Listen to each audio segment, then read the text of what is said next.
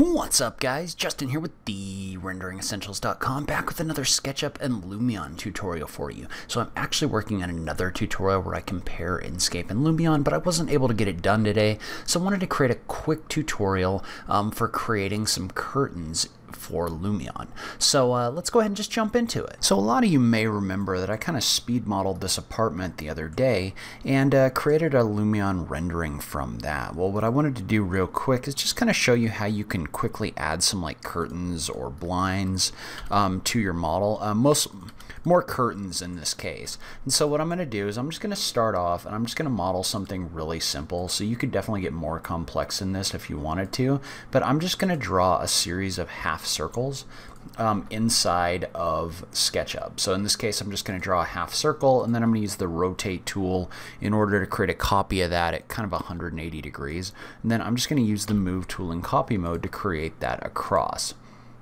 So I'm just going to make a copy of that. I'm going to type in like times 5 or times 6 and hit the enter key, that just copies this all the way across. And we're going to use the extension extrude tools, which I've been talking about a bunch, um, but that allows us to extrude an edge without it having a face or without it having any kind of thickness into a face. And so the first thing I'm going to do is I'm going to use the extension weld to weld that into a single curve, and we're just going to use extrude edges by vector, which is just a uh, um, it's a tool contained in TIG's extrude tools. Whoops that allows you to extrude this edge um, into a face. And so I'm going to say no, I don't want to extrude that into I don't want to explode that group, but now I'm going to take this and since we're sending this to Lumion, what we need to do is we need to apply some kind of a material to it. It doesn't really matter what that is because we're going to replace it once it gets over there.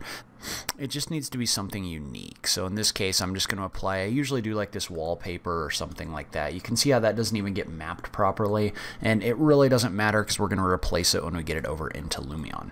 And so what we're going to do now is we're going to take this view and we're going to open up our Lumion Live Sync. So I'm going to right click in here and I'm going to find Lumion Live Sync. And what I'm going to do is first of all, I'm going to save my model.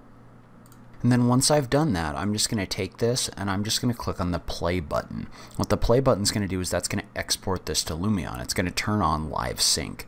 And so since I have Lumion already open, right here, uh, what we're going to have to do is we have to find some kind of a scene that we're going to put this in since it's already open. In this case, I'm just going to tell it to use, we're actually going to use probably the mountain range background because um, we may be seeing out this window. And so when we do this, this will load the scene and this will automatically export your model from SketchUp into Lumion.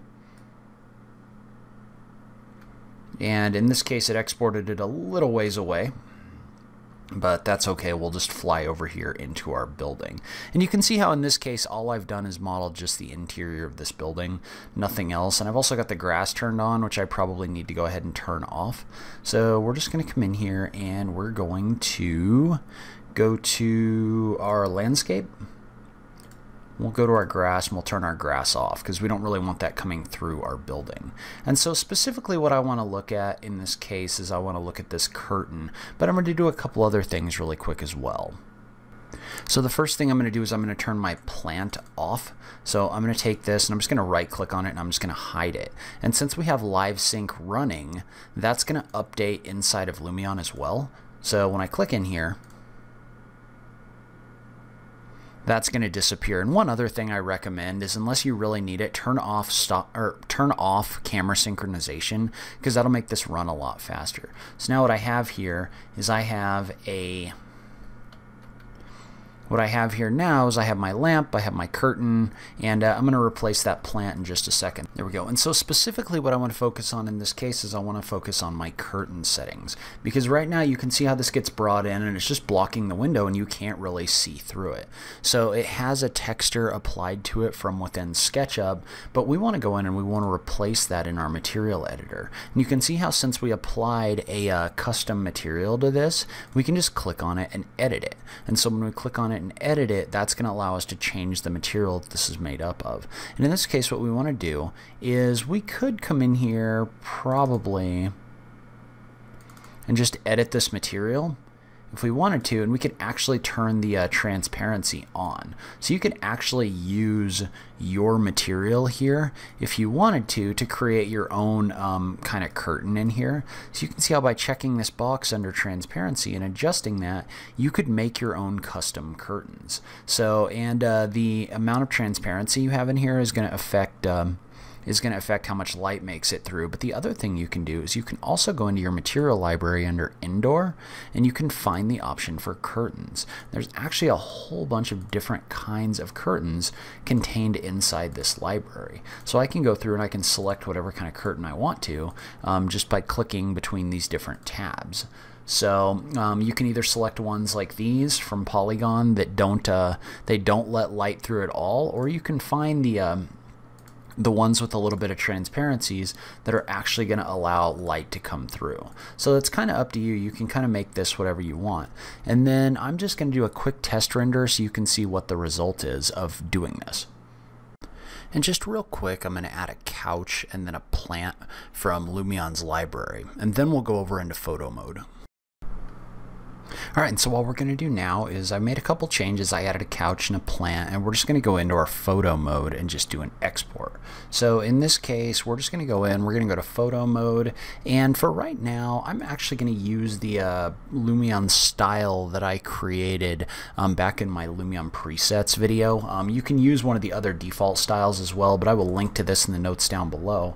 And uh, one thing I want to do about with this is I actually want to turn the sun off and I'm just going to come in and I'm going to add a real sky. So the real skies, if you remember, those are the uh, the real skies are the Lumion HDRI files that you can bring in and you can um, basically adjust them and I think they give you a little bit more realistic lighting. But in this case, I'm just going to bring the brightness up. And the other thing I'm going to do is I'm going to see what happens if I add the volumetric sunlight. So that basically gives you almost like particles in the air a little bit. So you can see I have the lighting from the real sky coming through here. You can see how this is kind of giving me kind of a particle effect in here. And based on the way this looks, I think it's probably going to be a little dim. So I'm also going to turn the exposure up a bit. So maybe to something like 0.6 or something like that. I'm going to go ahead and click the render render photos button and we'll just pick render desktop. And you can see how I've tried a few of these but I want to see how this one looks. I'm going to do curtains 9 we'll just call it curtains 9 and you can see how as this goes through this is actually like simulating the light traveling through the translucent curtain. And you've also got kind of an interesting effect with uh, the sunlight coming through here that kind of thing. So play around with this and see what you can come up with so that's where I'm going to end this video. Leave a comment below. Let me know what you thought. Was this helpful to you? Have you used the curtains and the translucency or the transparency inside of Lumion? I just love having that conversation with you guys. If you like this video, please remember to click that like button down below. If you're new around here, remember to click that subscribe button for new rendering content every week. As always, thank you so much for taking the time to watch this. I really appreciate it, and I will catch you in the next video. Thanks, guys.